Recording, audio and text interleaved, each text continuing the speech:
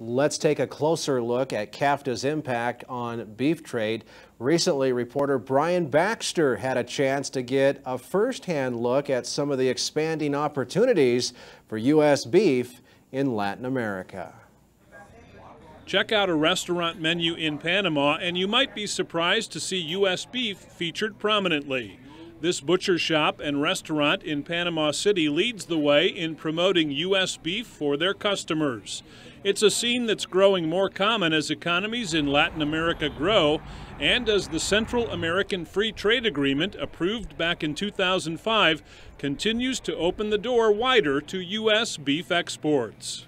Panama, where we're at right now, is a good example. With free trade agreement, we have declining duties, uh, getting everyone more on a level playing field. So the, the, free trade agreements, without a doubt, are the it's sort of the spark for the engine.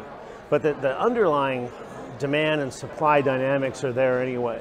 The reality is that they don't have enough production to meet their increasing uh, demand. US beef is the perception that the people in Latin America has about US beef is a really good quality product. Why? Because the consistency of the product, because of the marbling, the tenderness, and that they know that whenever they can try this product, they know it's going to be always good.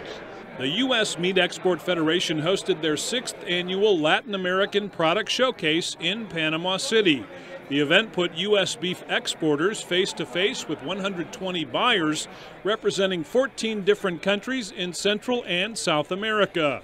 The sale of U.S. beef to these markets has been directly impacted as tariff barriers have steadily come down over time under CAFTA. We do have some more open doors now than we did 10 or 15 years ago. So we're seeing that product coming down here now. Since last year, CAFTA has become the difference, I should say, in, in regarding beef.